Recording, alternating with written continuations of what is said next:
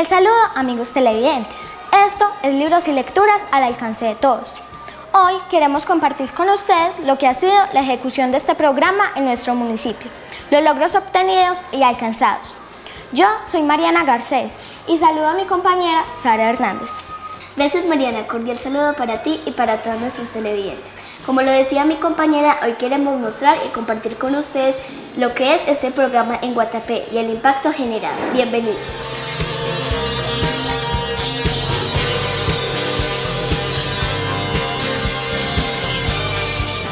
La Biblioteca Pública Jorge Alberto Restrepo Trillos del municipio de Guatapé, buscando generar hábitos de lectura y mejorar la calidad de vida de los guatapenses, continuó con la ejecución del programa Libros y Lecturas al alcance de todos, en esta ocasión segunda fase. Gracias al Ministerio de Cultura, Programa Nacional de Concertación Cultural, en convenio con el municipio de Guatapé. Este proyecto tuvo una duración de ocho meses. A continuación, los invitamos a conocer cuáles son nuestros programas.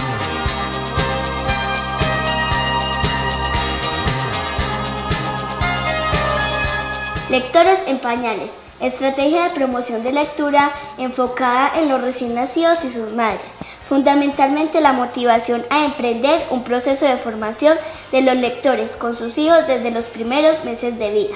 En este programa se logró atender 72 personas.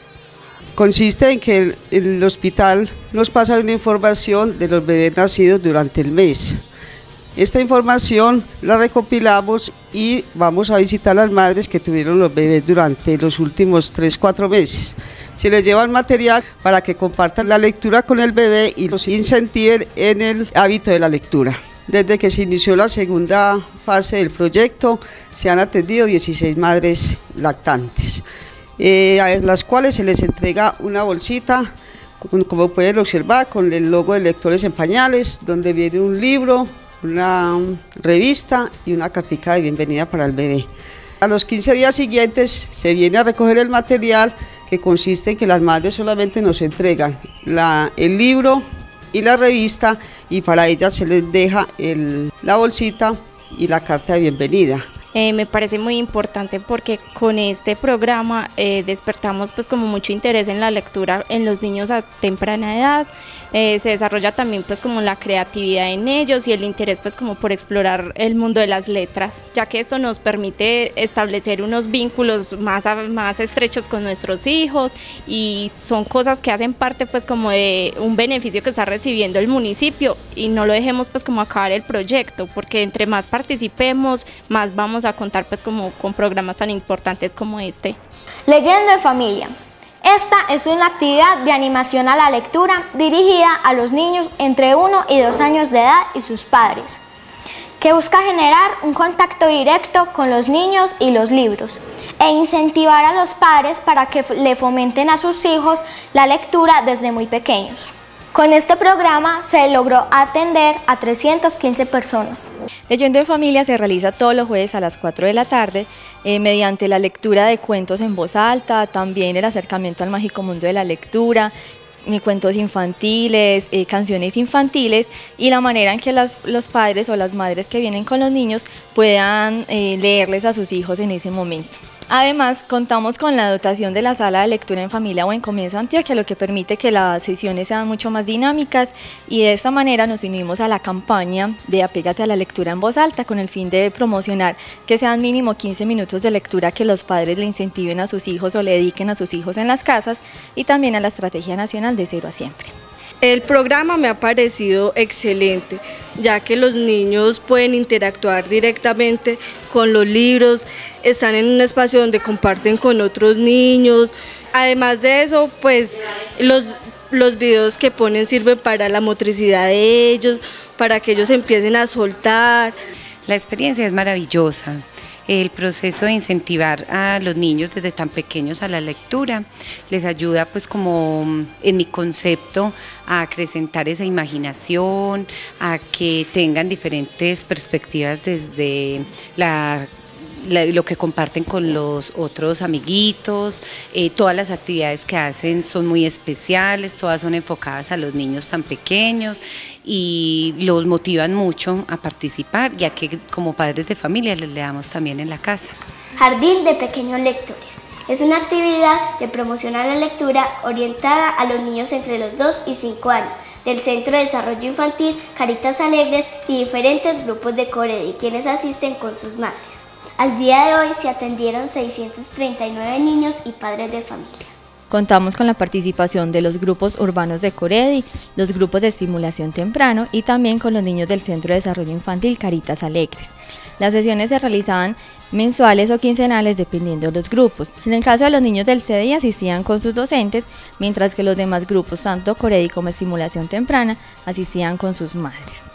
Las sesiones se realizaban a través de la lectura de cuentos en voz alta, juegos didácticos, también eh, canciones y videos infantiles, todo esto con el fin que los niños interactuaran con los libros, con los demás asistentes y de esta manera propiciar en ellos espacios que permitan el desarrollo de sus habilidades sociales y además que se sientan partícipes en una comunidad, pues en un espacio como es una biblioteca. Me parece pues muy bueno porque uno comparte en familia, en muchos ambientes familiares, siempre está la lectura presente.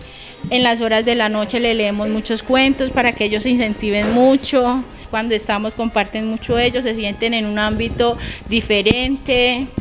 Ellos comparten con sus compañeros, están muy bien y se sienten muy felices ellos. Es un programa muy bueno porque los niños aprenden tantas cosas, aprenden a, leer desde pequeños, aprenden a socializar en, en forma de un, de un, entorno diferente a la casa, a, a una escuela, aprenden a que leer es algo tan divertido.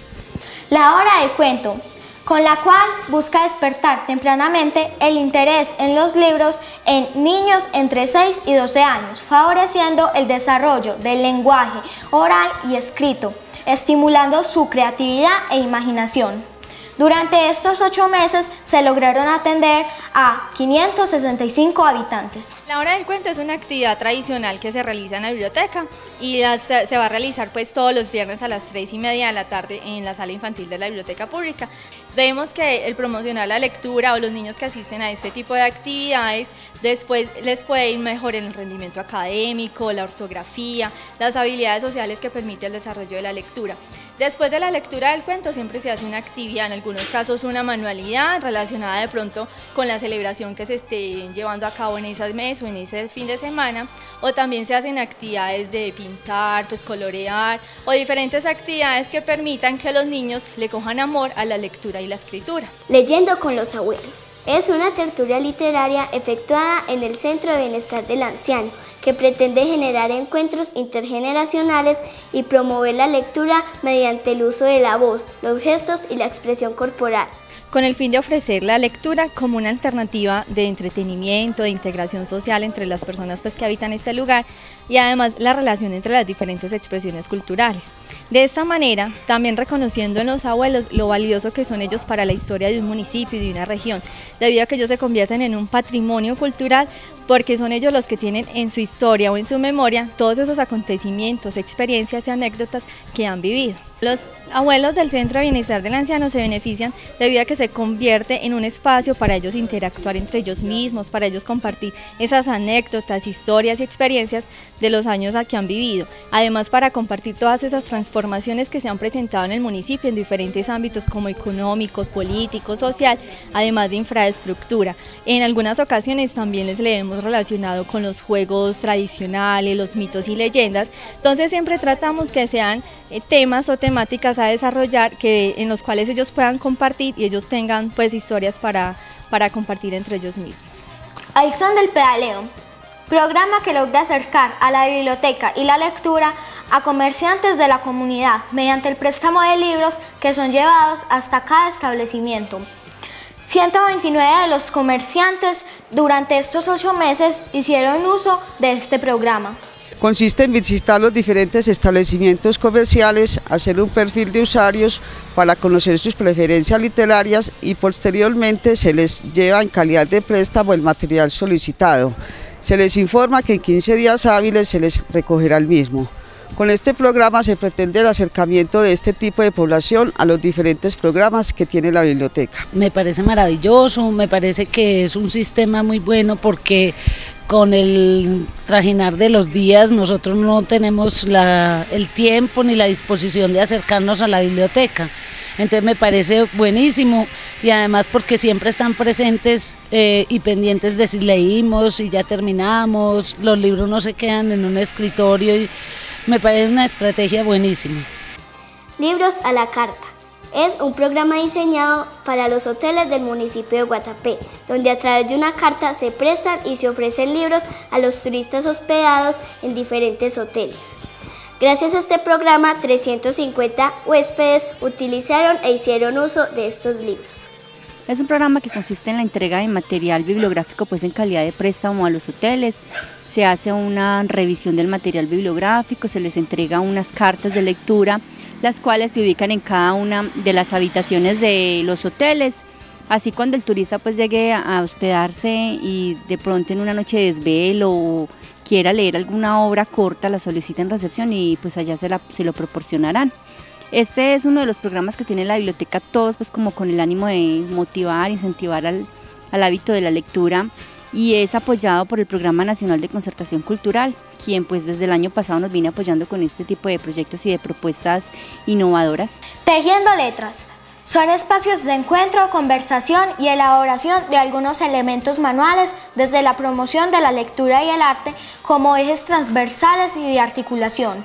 En este programa se atendieron a 151 amas de casa. Este es un taller que consiste en brindarle a las amas de casa, a las madres cabeza de familia y en especial también a las personas víctimas del conflicto en un espacio ameno para ocupar su tiempo libre, entonces se les dan oportunidades para trabajar en distintos talleres de manualidades. Este curso me pareció muy importante, ya que hemos aprendido unas manualidades muy bonitas. Desde el año pasado yo estoy asistiendo a ellos y me parece que es súper importante. Eh, este programa que tiene la biblioteca, que lo han incrementado hace unos años, me ha parecido que cada uno de nosotras como mujeres debemos aprovecharlo, que nosotros como amas de casa aprovechar el ratico esta tarde para hacer estas manualidades tan hermosas que nos están enseñando.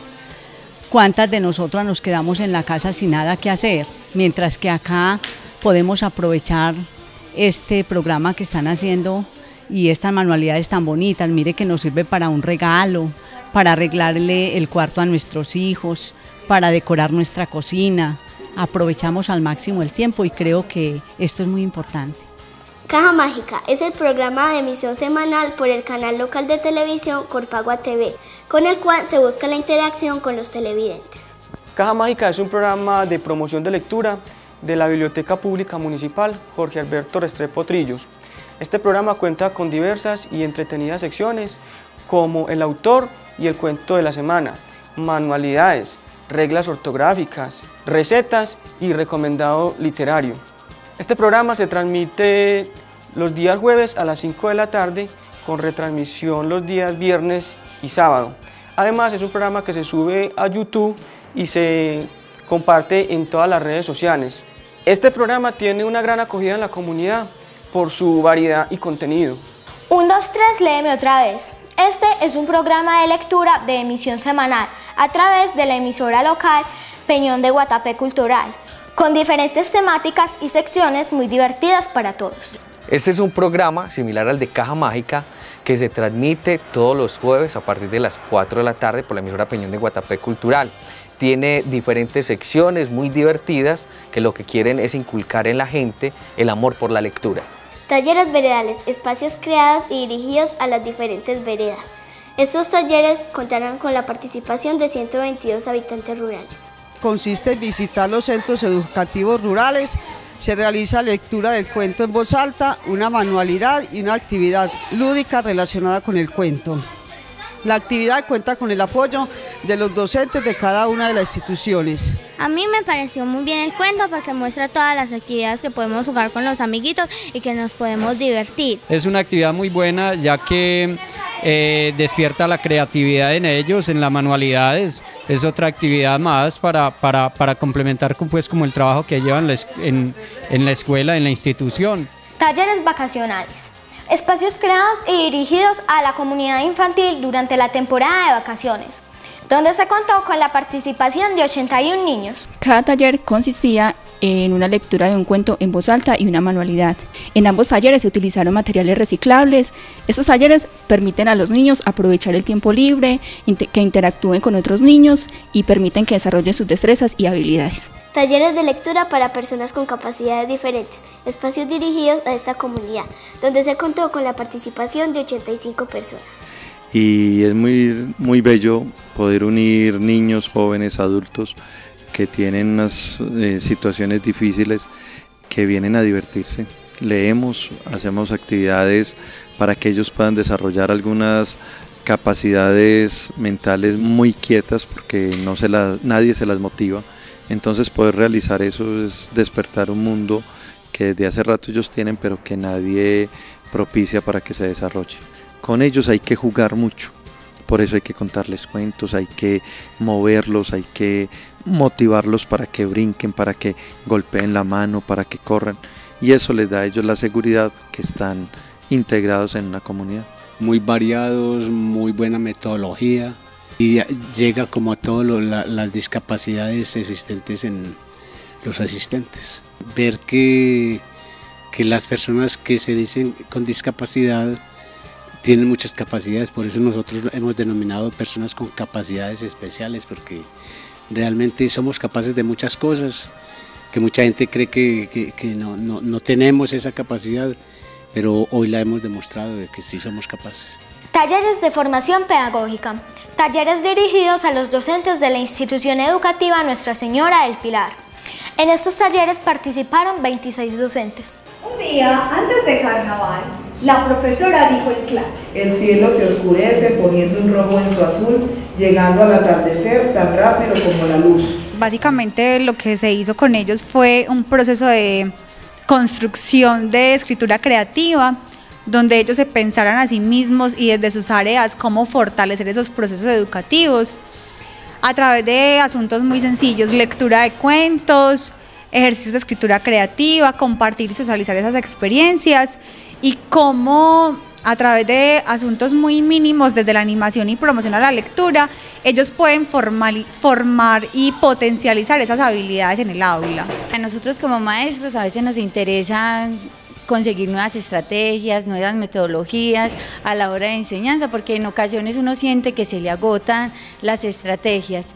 Eh, tener como fuente la lectura para la educación es un, pues mejor dicho, es un medio supremamente importante porque la lectura le hace que uno se transmita a otros tiempos, a otros espacios. Cada palabra tiene una imagen, entonces los niños pueden soñar, pueden imaginar, pueden recurrir también ellos a la creatividad. Aprendí que con cualquier palabra podemos escribir un texto, podemos ir más allá de lo que nos están planteando, eh, podemos ser creativos y recursivos a la hora de enseñar. Talleres de formación para agentes educativos. Talleres dirigidos a los docentes del Centro de Desarrollo Infantil Caritas Alegres. En este taller participaron 79 personas. Eh, temas como desde la economía, los aportes que ha hecho para eh, comprender por qué es importante la primera infancia, ¿cierto? Cómo se debe de estimular en estos primeros años para lograr un ahorro en la inversión a, futuro, por qué es importante ese desarrollo inicial a, nivel de, de su cerebro, y luego cómo estimular adecuadamente los primeros meses, los primeros años con herramientas de aprendizaje muy concretas. Ellos tendrán un recorrido por ambientes de aprendizaje y donde podrán diseñar también estrategias para implementarlas directamente en su espacio ya laboral. La idea es que las profes tengan mayores herramientas pedagógicas y didácticas para montar en sus aulas de clase y dentro de las aulas del CDI ambientes lúdicos, creativos, que permita favorecer en los niños todo ese pensamiento creativo, esa imaginación, esa innovación, esa capacidad de asombro para construir sus propias hipótesis que les permita construir su mundo, ¿cierto? No es la profe la que viene a imponer un saber, sino que son los niños que los empiezan a construir a partir de los elementos y las herramientas que las profes acompañan que ellos construyan. Nos retroalimenta en lo que es la estrategia, cómo podemos llegar a los niños, a las madres, sin que los encuentros sean monótonos, ¿ya? Sin que eh, todas las estrategias que nosotros día a día le vamos llevando a los niños y las actividades sean con diferentes implementos, no simplemente el foam y la cartulina, sino que también podemos tener a nuestro alrededor varios materiales reciclables que también le podemos dar mucha utilidad para las actividades desarrolladas con los niños. Lectura al parque. Actividad realizada en el punto de lectura ubicada en el parque principal. Durante estos ocho meses participaron 479 personas. Este se realiza en el PPP, Paradero para Libros para Parques, dirigido a niños entre 5 y 12 años. En este hacemos una lectura de un cuento, lo analizamos y sacamos una conclusión que le pueda servir a los niños en sus vidas. Eh, luego hacemos una manualidad inherente al cuento que se, se les leyó. Para la ejecución de todos estos programas durante el año 2014 se contrataron los servicios de Gloria del Pilar Londoño, Miriam Martínez Arcila, Lina Marcela Rincón Marín, Carlos Espinosa Rivera, Corpagua TV, Confenalco Antioquia y la Asociación Comité Ético Cultural bajo la coordinación de Marta Nuri Cardona García. En este proyecto el Ministerio de Cultura aportó 38 millones y el municipio de Guatapé 10 millones. Gracias a este proyecto se atendieron 3.652 habitantes, entre niños, adolescentes, jóvenes, adultos y adultos mayores. Se esta la oportunidad para agradecer a todas las personas que participaron de los diferentes programas de la segunda fase del proyecto Libros y Lecturas al alcance de todos. Yo soy Sara Hernández Parra y agradezco a todos ustedes por permitirnos llegar hasta sus hogares y también agradezco a Mariana Garcés que nos acompañó el día de hoy. Así es, Sara. Muchas gracias a ti y a todos los televidentes por acompañarnos el día de hoy. Nos veremos en una próxima oportunidad.